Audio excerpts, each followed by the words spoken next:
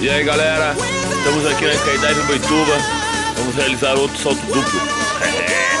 A sorteada da vez é a Elisângela. Elisângela? Firme e forte, ó. E aí menina, beleza? Na pegada. Prazer, meu nome é Christian. Elisângela. E eu, instrutora, sentar contigo, beleza? Opa, tem que aí? ter coragem só, né?